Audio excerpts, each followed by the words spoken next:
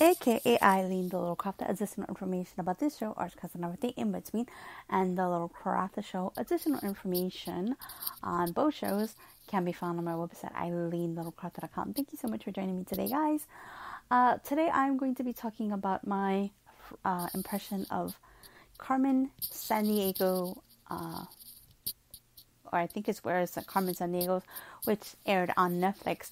Uh, so this was pretty interesting. It kind of threw me back to the Wayback Machine because um, it seems like everything old is coming up new again. I'm still waiting. I mean, my My Little Pony has been having a long run show. Um, uh, Care Bears is always kind of. I mean, I didn't watch My Little Pony. Um, I I I think my sister had like a huge collection of them. They, they were beautiful ponies. Um, and what else? I'm wondering if Care Bears is going to make a comeback. I mean, as we know, She-Ra made a comeback. Uh, there's kind of like a hit or miss of whether or not if there's going to be a cartoon version or a live action version of He Man. They have been playing around with it um, on and off throughout the years. Um, there was a pretty good, actually, a really great rendition of uh, what is that? Uh, Thundercats, and then all of a sudden it said poof um, but I don't know. I kind of feel like that always happens when, and I'm sorry if you know if you guys don't agree with me on this one, but I kind of feel like that kind of happens when, uh, when certain shows come on Netflix, not Netflix. What is that? Not Netflix. What I went to say was uh, Cartoon Network. Um, it just kind of feels like you know there's good shows, and then all of a sudden they just go poof, fizzles out, and it's a shame. But anyways, um, so they had that uh, as you guys knew, Voltron came out, and a lot of people are like, no. Um, some people say that you know it should have been just done with one or two series, and that this the ending of it, which is was bittersweet, um, lacked, or that it really played downhill. I personally liked it, and um, you know, you guys can check that review out. I'll leave that in the description, or you guys can check out the podcast or in a card. Somewhere on this YouTube video or podcast, you'll find it because it will be here on um, what is that? Uh,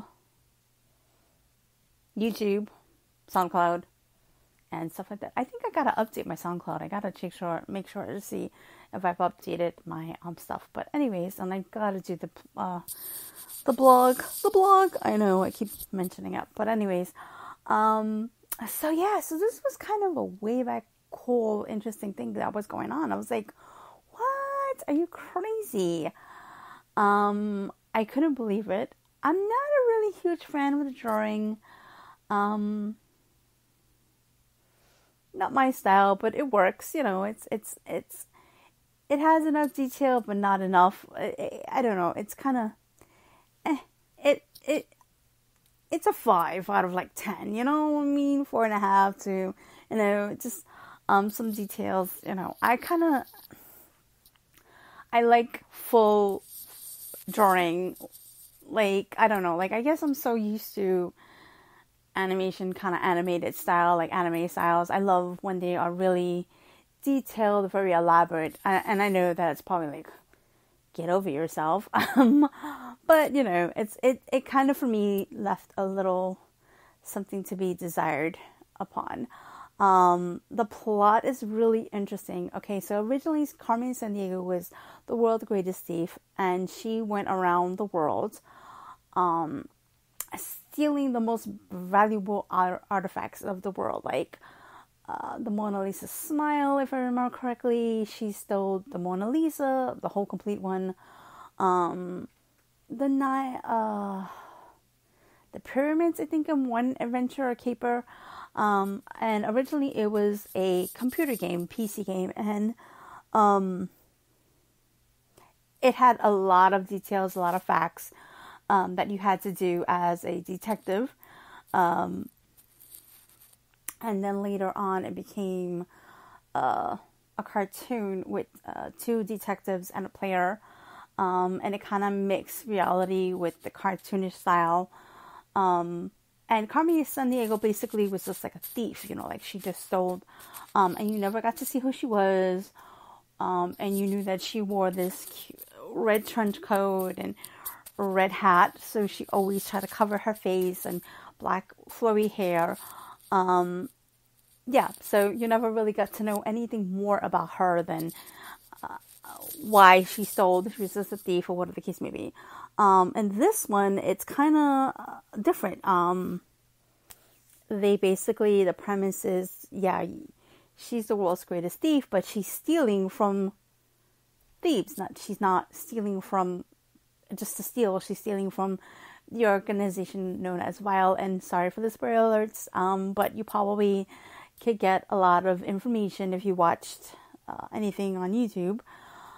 Um, so it was pretty interesting and it, a really good cast, great uh, voice acting, um, matched really well, and I thought that it was really fun. Um, pretty, you know, decent uh, considering that you know we got from, I think the late or early '80s, you know, mid '80s somewhere. Um, from the original cartoon uh, version, well, from the video game. I also heard recently that there was a video game, which I didn't even know about. Um, so I'm wondering if there's going to be a spark and interest of maybe, um, uh, what is that? Um, you know, maybe the game. I do have to say, I didn't see a lot of information about the pieces that um, she was stealing. Like I kind of feel like the video game and the game, uh, excuse me, what I meant to say was the cartoon, the original cartoon gave a lot more information.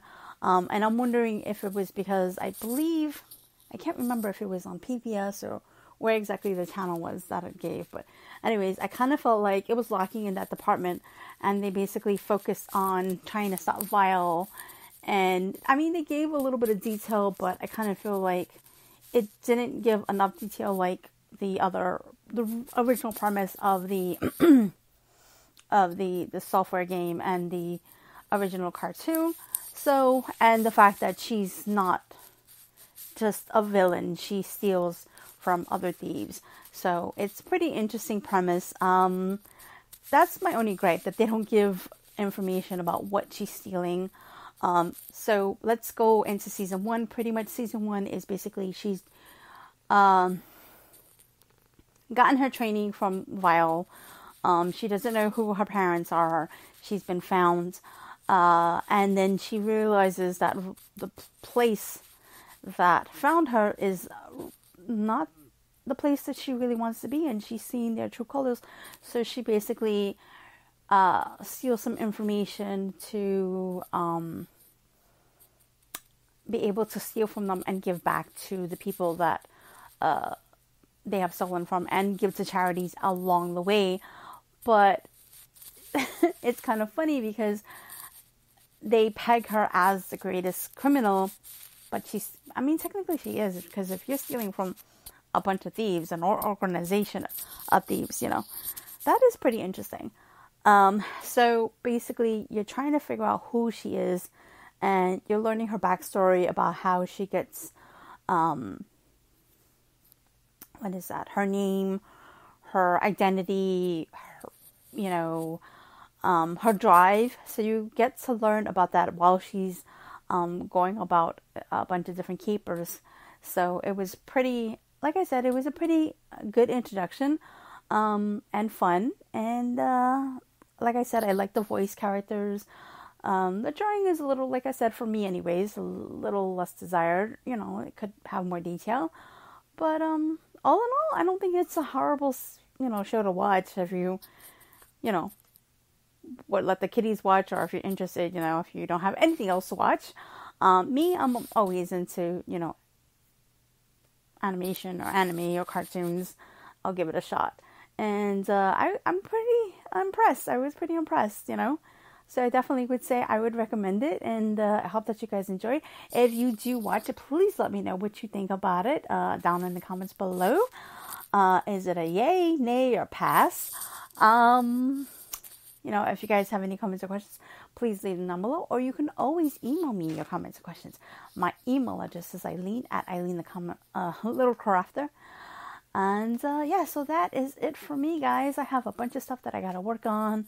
I know I keep saying that, and um, we shall see what the future holds.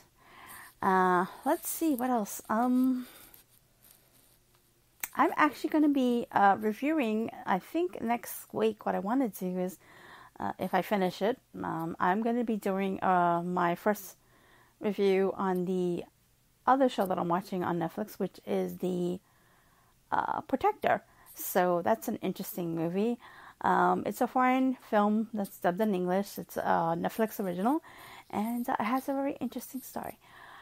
Alrighty, guys. So, like I said, if you guys have any comments or questions, please leave them down below, or you can always email me your comments or questions.